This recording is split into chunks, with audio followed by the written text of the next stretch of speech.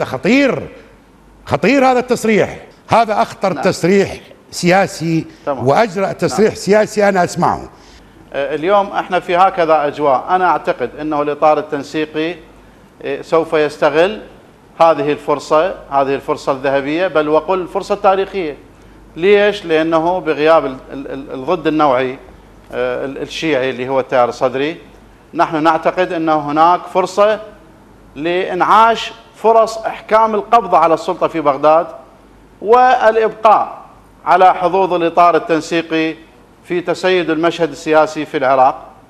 هاي الأمور تستدعي دائما الفواعل السياسية أن تضغط باتجاه أنه آه، ترويض آه، آه، الوضع في إقليم كردستان وإعداده وفرمته وإعادة ضبط الأمور هناك لكي تكون يعني جلبة الإقليم ضمن هذا الحيز ضمن حيز السعي للإبقاء على حظوظ الإطار التنسيقي في تسييد أبو أبو ميثاق أبو ميثاق بإجراء أبو انتخابات هاي انتخابات مجالس المحافظات أبو ميثاق يجرى التمييز لها اسمعني هذا أخطر نعم. تصريح سياسي تمام. وأجرأ تصريح نعم. سياسي أنا أسمعه لكي يتمكن الإطار التنسيقي من الاحتكام نعم. على السلطة عمل على ترويض أقليم كردستان نعم.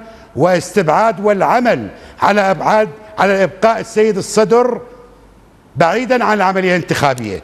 هكذا تفكرون بال بال بالإطار التنسيقي لغرض نعم. الاحتكام نعم. على السلطة. هذا خطير. خطير هذا التصريح. نعم. وجرت وجرت امور وجرت أمور أكثر حضورا من هذا الشيء.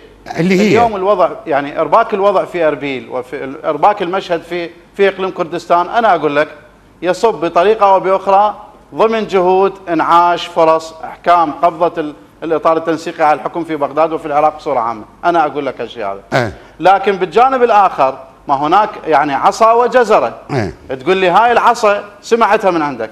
أبو ميثاق وين الجزرة؟ أنا أقول لك أه. اليوم الموازنة موازنة 2023 هاي الموازنة الانفلاقية والانفجارية لثلاث سنوات، شنو معناته؟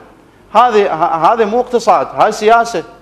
إنه أنا أضع موازنة وأنشئ مجالس محافظات ويجون مجالس المحافظات يلقون موازنة لثلاث سنوات، نحن نتحدث عن ما يقارب ال 400 مليار دولار لمدة ثلاث سنوات، سوف توضع في أحضان السادة المؤسسين للعملية السياسية والقيادات ورؤساء الكتل وأصحاب القرار الذين يعرفون تماما كيف يخرجون آه، هذه الكتل النقدية الكبيرة وكيف يستغلوها أنا أتفق وياك أتفق وياك أتفق وياك حظوظهم في امتلاك القرار يعني في بغداد. أتفق وياك بتعبيرك ان السادة الزعماء بالعملية السياسية يعرفون كيف سيخرجون هذه الكتل النقدية. هم بتخريج الأموال أحطهم على راسي ولا واحد مثلهم يخرج الأموال. لكن إنه الإطار التنسيقي يستخدم العصا للإبقاء على السلطة مهما كان الأمر.